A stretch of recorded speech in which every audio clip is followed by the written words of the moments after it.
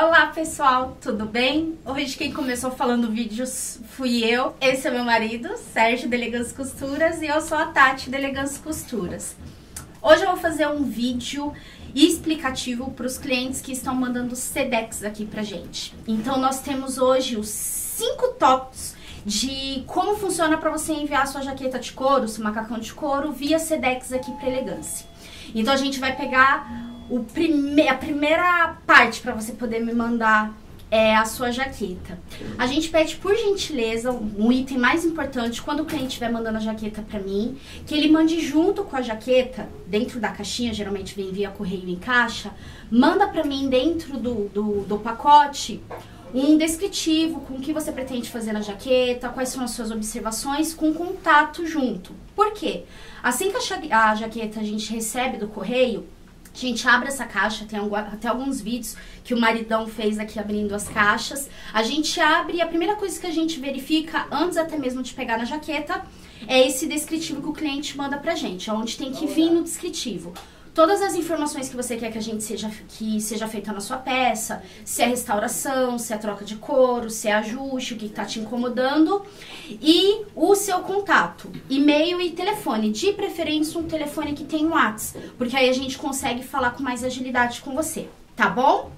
O segundo item, já, já tinha emendado, gente, um no outro, é o contato telefônico junto com o descritivo. O terceiro item é para vocês poderem mandar pra gente, se possível, as peças medidas. Tati, não tenho como medir couro aqui, não conheço ninguém que faça isso. Então, o que, que, você, que, que a gente sugere? Vou pegar uma jaqueta de um cliente aqui só para vocês terem uma ideia, tá bom? De, de como vocês podem mandar isso para mim no descritivo. E ela vai vazar o manequim bonitão aqui, que é o tio de 40 anos, marido dela, o Sérgio, tá bom? E pessoal, só lembrando, né, que ela falou de jaqueta, mas tem também os macacões. A gente vai falar aqui especificamente de jaqueta, nesse caso, eu vou provar jaqueta. Mas serve também para os macacões o que é necessário fazer para você falar pra gente. Essa é uma jaqueta comum, tá bom, pessoal? Então, Tati, tem uma jaqueta assim. Ela é uma jaqueta. Vem um pouquinho mais pra trás. Né? Ela é uma jaqueta de couro comum. Não ajustamos só motociclista, viu, pessoal? A gente ajusta a jaqueta de couro comum. Quando é troca de zíper, você não precisa me mandar medida. Você me manda a jaqueta e põe no descritivo. Tati, trocar o zíper. A gente vai colocar o zíper igual da sua peça, igual original. Lógico, às vezes eu recebo algumas peças que o cliente pode ter mandado para um outro lugar e fizeram já troca algum tempo, e às vezes o zíper pode ser diferente do zíper do bolso. Nesse caso, eu vou priorizar o zíper original. Se o original for o do bolso, o zíper central vai se basear nele para eu poder fazer a troca, tá bom? Tati, como que eu faço a marcação para mandar o vídeo? Para mandar a jaqueta? Desculpa, gente. É, se você não tiver uma costureira que tem experiência em perfurar couro, você vai fazer assim na sua casa. Não sei se a gente consegue dar um zoom, zoom, zoom pra você dar uma olhadinha. Aqui. Vamos supor que a sua jaqueta está com um problema na lateral. Então, você vai vir aqui. Eu vou usar minha fita, tá? Mas você em casa pode usar uma régua. Aí, você só manda pra mim, Tati, usei a régua, que a gente vai ter uma referência. Então, no sé, ela tá certa, mas vamos supor que no cliente esteja largo. Então, o cliente vai pegar a peça, pela costura que ela tem na lateral, você dobra ela, centralizando essa costura. E mede aqui. Ai, Tati, quero tirar um dedo.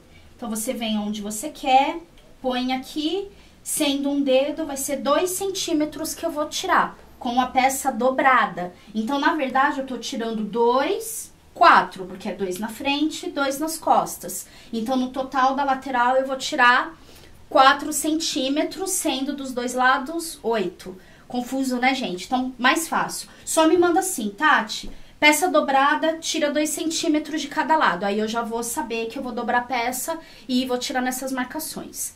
Punho. Tati, vou mexer no punho. Então, você vai fazer o mesmo processo dobrando o punho para dentro. Aqui você tava certinho, mas... É, está certinho. É só um exemplo, tá bom, pessoal?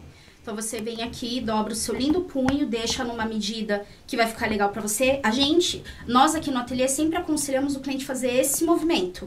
Porque aí você vai ter a finalização do efeito que você quer. Tati, é uma Harley, eu vou usar para pilotar. Você vai fazer este movimento. Se fosse para uma Harley aqui, essa medida teria ficado curta. Bem curta, né? Então a gente só pede pro cliente fazer esse teste, porque o couro, uma vez cortado, não tem mais retorno, tá bom, pessoal? Então você dobrou aqui, você vai pegar a fita métrica, se você tiver, ou a fita, a régua normal, e aí você vem aqui e mede novamente. Nesse caso, eu medi, se eu fosse tirar da peça do cliente, eu ia tirar 3 centímetros e meio. E aí você colocar pra mim, Tati, tirar 3 centímetros e meio do punho. Isso facilita o processo de andamento da peça quando ela chega aqui. Então, quanto mais informações você me mandar, melhor. Porque eu não tô te vendo. Quando o cliente vem no ateliê, a gente consegue fazer algumas observações no corpo. Eu não tô vendo a sua peça no seu corpo. Então, quanto mais você me informar, melhor. Porque se eu cortar o couro errado, se eu perfurar errado, não tem volta. Couro uma vez feito, não tem como reparar a peça, tá bom? Então a gente só pede para vocês terem esse cuidadinho quando mandar para mim. Eu tô olhando para vocês, tô olhando ali pro cinco itens, gente, que é muita coisa, senão não lembra. É, o quarto item pra gente não, não, não se perder. Aí aqui já entra mais no processo de andamento aqui da loja. Me perdoa, não é nada combinado. Só explica para o cliente a diferença, não só em relação a custo. Se tiver zíper, quando que é necessário a gente subir a casa, que dá mais trabalho, ou quando de repente o zíper no ajuste do punho vai ficar um pouco mais curto. Então, nesse caso, quando o cliente vem aqui no ateliê, a gente pergunta para o cliente no atendimento: olha, você quer que eu corte ou você quer que eu suba? Quando é coisa de 2 centímetros, a gente corta o zíper sem, sem perguntar, porque não vai fazer diferença. Agora, quando é de 8 a 10 centímetros, por exemplo, no comprimento, aí a gente sempre aconselha o cliente a subir o zíper. O orçamento fica um pouquinho a mais? Fica, porque você vai ter um trabalho a, a mais para executar. Porém, você vai manter a originalidade da peça. Isso é muito importante na Harley, por exemplo. Se você corta o zíper da Harley, o cliente depois tem dificuldade de colocar a luva, porque a luva fica grossa, ele cortou o zíper, não tem mais o que fazer. Então, você só pode especificar para mim, Tati, sobe o zíper ou corta o zíper. Aí você pode colocar isso como descritivo. Quando chegar aqui, eu vou avaliar e te ligo pelo contato que você me deu e falo: olha eu aconselho cortar ou não aconselho cortar. E a gente vai, vai se entendendo por telefone. Tá bom, pessoal? Desculpa. Tira da mãe. Desculpa. gente, quarto item, mas isso é mais pra dizer como funciona o tópico quando a sua peça chega aqui. Quando a sua peça chega aqui pra gente, o que, que a gente faz? A gente entra em contato com você via telefone ou via e-mail que você nos deixou e a gente vai te passar todos os orçamentos dos itens que vai ser feito. Ele vai se despir aqui, tá bom, pessoal? E aí a gente vai te passar os orçamentos, explicando para você os detalhes, o que, que vai ser mantido, o que, que vai ser é, retirado da peça, para você não ter nenhuma dúvida. Geralmente esse contato ele é feito via WhatsApp ou via telefone. O que, que a gente às vezes tem muita dificuldade no atendimento quando ele é via correio? Quando o cliente está aqui na recepção, a gente faz o atendimento, vamos dizer aí, um atendimento demorado de 40 a uma hora, no caso dos macacões de couro. Mas eu já tiro todas as dúvidas pessoalmente com o cliente. Então ele já vai ver todo o processo ali na hora, na hora eu dou o valor, ele já, já autoriza ou não autoriza, já, já me dá autorização via sinal ou não. Então o processo é rápido.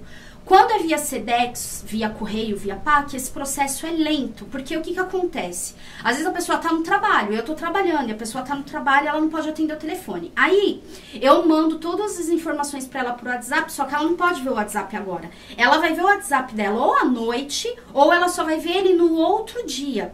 Então a gente acaba estendendo o atendimento aí só para um orçamento ou para chegar num acordo de 24 horas a 48 horas. E às vezes o que, que acontece também? Às vezes o cliente fala pra gente: olha, é essa observação. Às vezes o cliente me manda essa mensagem 11 horas da noite. Gente, me perdoe, mas 11 horas da noite eu já desliguei o celular para ficar com a pequena. Então eu só vou ver sua mensagem no dia seguinte. E aí eu vou te responder naquela data. Quanto mais rápido você me responder, melhor, porque aí o processo da sua peça vai ser agilizado. Se você me demorar de 24 a 48 horas para me dar uma resposta, é esse processo também que eu vou ter para te dar uma posição. A gente às vezes tenta ligar para cliente, é o processo mais rápido, a gente tem essa essa disponibilidade de falar com clientes em outro estado, mas às vezes acontece de eu ligar e o cliente também não atender. Então, quanto mais você, é, mais rápido você me der uma posição da sua jaqueta, quando eu te mandar um zap ou eu te ligar, você vê uma chamada minha, melhor, porque aí o processo de entrega vai, vai agir da mesma forma, ele vai correr com mais tranquilidade. Outra coisa que acontece no SEDEX que a gente sempre pede para os clientes, Hoje, antes a gente enviava as peças pelo correio. Vocês vão ter algumas fotos do marido aqui forte com as caixas no correio. Ele ia no correio. Mas, por questão de segurança, até por questão de tempo, que às vezes não dá tempo dele ir por, por organização da empresa mesmo, hoje nós utilizamos uma transportadora. Tati, por quê? Essa transportadora a gente conheceu através de um cliente nosso que teve problema com o correio, ele, não conosco, tá? Ele comprou uma mercadoria num lugar e não recebeu. Então, devido a isso, ele ficou preocupado por fazer é, entregas direto por correio. Quando ele me mandou a peça, ele me solicitou que eu mandasse por essa transportadora, que era uma transportadora que ele já conhecia e ele se sentia mais seguro com a entrega.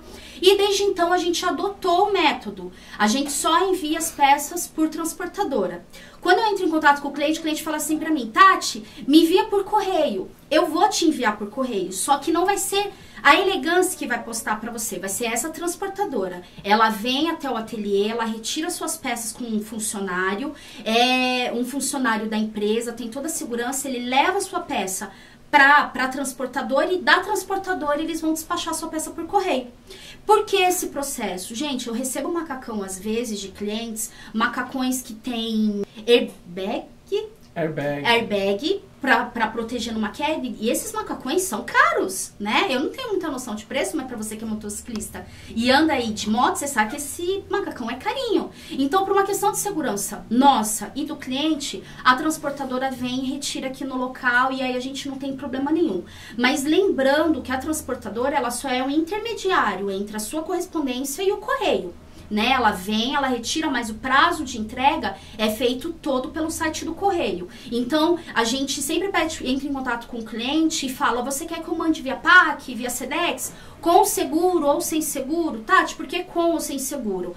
Se eu te mando a peça com seguro e acontece um extravio no correio, o correio vai te, te reembolsar essa peça. Se eu mando a sua peça via PAC sem seguro, Infelizmente, o correio não vai arcar com a perda da sua mercadoria.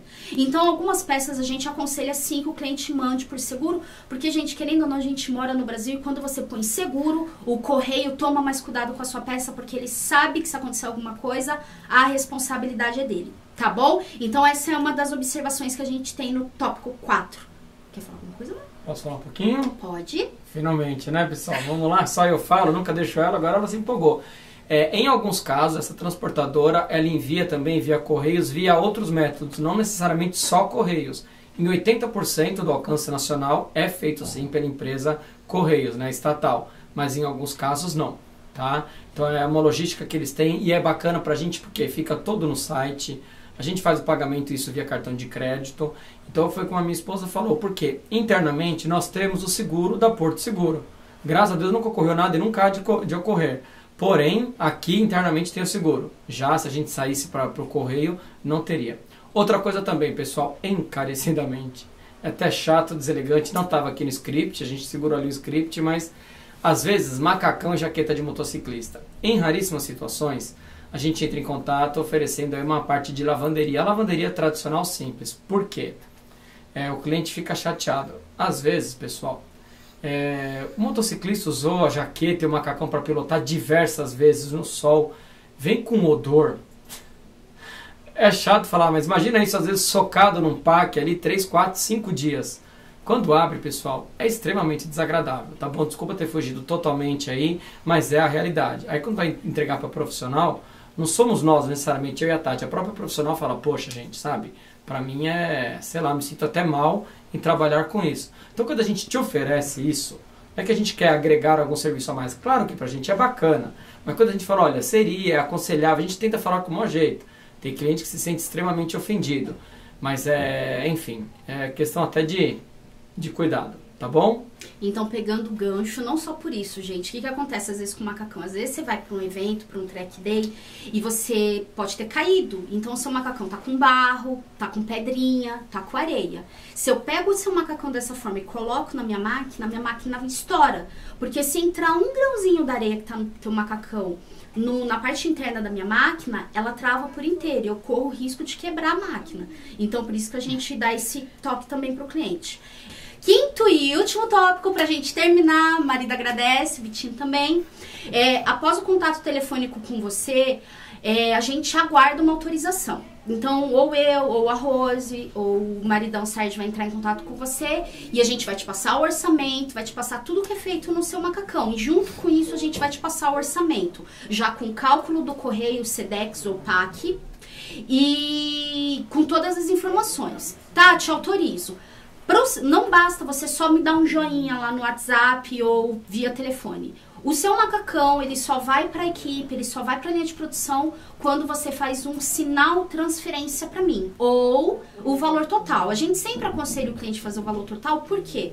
São vários os, os produtos que a gente recebe via correio, gente. Não é só macacão, eu recebo gravata de clientes, a gente recebe sapato de cliente, cinto de cliente. Então, é muita coisa que a gente fica em pendência. Para agilizar o processo, para ir para a transportadora, o seu macacão, a sua jaqueta, ela vai para execução e se não tiver pago, ela volta para recepção, ela volta para quem recebeu a sua peça. E ali, mesmo pronta, a gente vai ter que entrar em contato com você e pedir o restante do valor. E às vezes, se eu não conseguir contato com você, eu vou demorar de 3 a 4 dias para ter uma posição sua e só aí é que eu vou poder ligar para a transportadora vir buscar. E aí acaba atrasando se você tiver algum prazo de encontro, se você tiver algum track day ou se você for usar sua jaqueta para um happy hour especial. Então, se você puder fazer o pagamento total, é bom, porque eu já vou pegar a sua peça da produção, ela vai passar pela revisão, tá tudo pago, correio, a peça, vamos despachar ela pela transportadora. Então, o processo é mais rápido. Lembrando que não é por questão de confiança ou não. É a forma que a Elegância trabalha. Elegância só todas as peças, tanto é, as que recebemos por correio quanto as que os clientes trazem aqui no ateliê, as peças só vão para execução mediante sinal da peça ou valor total. Não é porque não gostamos de você ou porque a gente não confia em você e muitas vezes a gente nem conhece o cliente quando é via correio, mas é uma questão de logística da empresa. A gente tem que mandar para a peça para execução, então a gente pede um sinal que é uma forma de, de autorização. Até porque o couro, às vezes a gente dá um prazo de 20, 30 dias, né? Então se eu não peço sinal para você, eu não tenho como também distribuir isso para as minhas funcionárias, gente, porque é uma empresa, tem pagamentos, enfim, tá bom? Então é bom vocês estarem confirmando pra gente a transferência. Sempre a gente passa o contato do banco para vocês. Assim que vocês fazem, a gente aconselha vocês mandarem um comprovantezinho no WhatsApp. Então fica a dica, quanto mais rápido for o nosso contato e a confirmação de todo o processo, mais rápido a sua peça é liberada. Quanto mais demorado, mais a sua peça demora aqui com a gente tá bom? Eu só vou dar uma dica para vocês, aproveitando, o marido vai colocar a jaqueta da Ducati que a gente tem aqui, porque eu tenho recebido muitos, muitos, muitos recadinhos de motociclistas falando assim: faz pra gente como que a gente marca, que eu não tenho ideia nenhuma de como mandar essa medida pra você. Então eu só vou dar uma ideia, tá bom? Pra vocês terem uma base de como que a gente faz aqui esse, esse processo de medição para facilitar na hora de você mandar a peça aqui pra mim, tá bom? Pega só um pouquinho. Não sei nem se a jaqueta serve, né? Às vezes a jaqueta é menor. Essa peça aqui foi pintada, gente. Ficou linda, pessoal. Olha aqui, ó. Essa parte aqui era toda em vermelho, a Ducati original. Tá? Só que o cliente, ele tem um capacete lindo assim, caramelo. Então toda essa parte de caramelo a gente pintou, a preta também. Então, como a gente sempre fala, a gente remove a pintura, pessoal. A gente não passa por cima. A gente tem recebido diversos vídeos e WhatsApp de clientes que, enfim, pintaram o macacão e aí começar, começou a rachar. Por quê? Porque não houve a remoção. Tá? Se não houver a remoção, não houver o tratamento no couro, não adianta. Vai ser um barato que vai sair muito caro. Vamos lá, ela é um pouquinho apertada para mim. Não sei se dá pra fechar, mas vamos lá, More. Ai, gente, lembrei o negócio do Sedex. Rapidinho. É, tem algumas regiões quando a gente recebe do cliente, às vezes o cliente, essa semana mesmo atendi um cliente que me pediu para enviar a peça via PAC. Quando eu simulei pelo correio com o CEP dele, o correio São Paulo para lá não fazia entrega no endereço via PAC. E aí ele teve que fazer via SEDEX. Então não é algo que a gente escolhe, tá? É no site do próprio correio de São Paulo, dependendo da região, eles não fazem entrega via PAC, tá bom? Essa peça, só um exemplo para você motociclista, isso funciona para macacão também, quando você vai ajustar a parte de cima. Eu recebo muitos clientes que me mandam uma peça e falam assim para mim no descritivo: Tati, diminui punho. E aí a gente fica com a perguntinha aqui na cabeça: será que realmente é o punho? Não sei se dá pra descer um Opa. pouquinho. Ó, aqui no, no Sé, o punho tá grande, se vocês perceberem, né? Não dá, não tem como você colocar a luva aqui para pilotar. Nesse caso do marido, tá perfeito, porque o cliente tá falando, ele mandou pra mim e falou, é o punho. Aí eu entro em contato com ele via telefone e falo, você reparou como tá a proteção? Aí ele fala assim pra mim, não. No caso do meu marido, se essa jaqueta fosse da Ló pra vir pra mim, não seria o punho, embora o punho esteja mesmo fora de lugar. A proteção não está no cotovelo, gente. A proteção tá dois dedos a três dedos abaixo do cotovelo. Então, nesse caso, o ajuste não é punho. O ajuste é subir a proteção. Ixi, Tati, como é que eu marco isso? Você vai fazer assim. Pede para alguém, para uma costureira, para a esposa, para o amigo, para a mãe. Você vai pegar o couro e você vai subir ele. Vai estar tá um pouco apertadinho no marido, gente, mas vou abrir o zíper aqui para facilitar. Você vai subir a sua peça. Subiu, o que, que você faz? Dobra aqui o cotovelo, encaixou a proteção, encaixou. Você vai dobrar pra mim a sobra. Você vai fazer isso aqui nela, ó. Não sei se o vídeo consegue pegar. Você vai dobrar ela. Tati, não consigo mandar isso alfinetado pra você. O que, que você vai fazer? Você vai pegar a sua fita, nesse caso é melhor a fita métrica. E você vai fazer isso aqui, ó. Você vai prender aqui e vai dar a volta. E você vai falar pra mim, tirar na proteção 5 no total. Quando chega aqui, eu vou saber que é pra tirar da sua proteção 5 no total. Encaixou a sua cotoveleira. E aí, o seu punho milagrosamente foi para o lugar. Milimetricamente também. Porque não era o seu punho que estava grande, era a sua proteção que estava fora de encaixe. Por que, que a gente fala isso? Eu já recebi jaquetas de clientes que mandou para algum lugar e cortaram o punho. Aí ela chega aqui para mim e fala: Tati, cortaram o punho, mas a minha proteção tá fora do lugar. Eu não tenho mais o que fazer. Porque se eu subir sua proteção pro lugar, o seu punho vai ficar extremamente curto. Então, nesse caso, não é punho, é proteção. Agora, se a sua peça, a proteção estiver encaixada e ainda assim estiver subindo, aí é punho. No caso dessa Ducati, que em alguns casos da Harley, foi o que a gente falou agora no começo do vídeo, ela tem o zíper. Se eu tirar um dedinho aqui, não altera tanto o zíper. Porém, esses são os detalhes, gente, que a gente não consegue passar por telefone para vocês. Tá vendo esse lindo botãozinho que ela tem aqui no punho, que trava isto? Na hora que eu fizer o seu punho, o seu botão vai dar tchauzinho. E o seu botão tem o logo da Ducati. E aí, nesse caso, eu vou ligar para você e vou pedir sua autorização, porque eu vou ter que colocar um comum sem o logo da Ducati, tá bom? Para sua peça voltar a funcionar. Se você for tirar muita coisa, primeiro, muita coisa é. não dá, porque aí trava na sua proteção, ó. Aqui já é sua proteção. Então, em alguns casos, eu vou tirar dentro do limite da peça. Se você me mandar pro descritivo, tira 10 centímetros e os 10 centímetros ultrapassar o que eu posso da sua peça, eu vou ter que tirar menos, tá bom? Então, nesse caso, o limite já tá aqui. Essa Ducati tem um nome bem alto. Eu tenho algumas peças que tem o nome rente. Então, quando eu corto o punho, o cliente acaba perdendo um pouco da, do logo. A gente sempre avisa. Então, nesse caso, se você vai tirar muito, olha o tantinho de zíper que vai ficar aqui, ó. Quase nada. Então, nesses casos, a gente vai remover seu zíper, vai tirar ele daqui, vai fazer um novo corte e vir descendo ele. Tudo isso a gente respeita quando a gente vai fazer os ajustes. Por isso que é importante você me mandar o descritivo e também é por isso, gente, que o orçamento que a gente dá por telefone não tem como ser certeiro, porque eu só vou saber que a sua peça tem um lindo botãozinho, um zíper, quando ela chegar aqui pra mim. Aí eu vou conseguir avaliar com calma. Outra coisa, essa Ducati não tem, mas as Harleys, principalmente, elas têm aquela sanfoninha aqui do lado que você regula. Então, na lateral, vamos imaginar que essa Ducati tivesse ajuste lateral. Consegue pegar aqui pra mim, Vitinho? Gente, vou falar rapidinho que o marido falou que vou estourar o tempo. Ela não tem costura lateral. Olha que legal. Então, o ajuste dessa linda peça eu teria que fazer nas costas.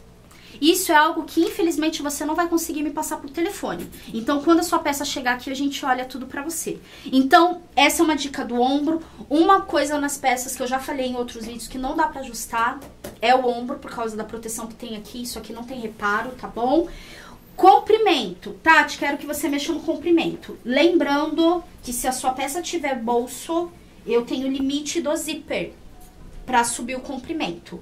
Tati, mesmo no limite dá para subir. Ok, então para subir o seu lindo comprimento, eu vou ter que tirar todo o seu zíper, porque esse seu zíper é de encaixe, eu não posso cortar. E aí depois que eu fizer isso, eu recoloco ele no lugar.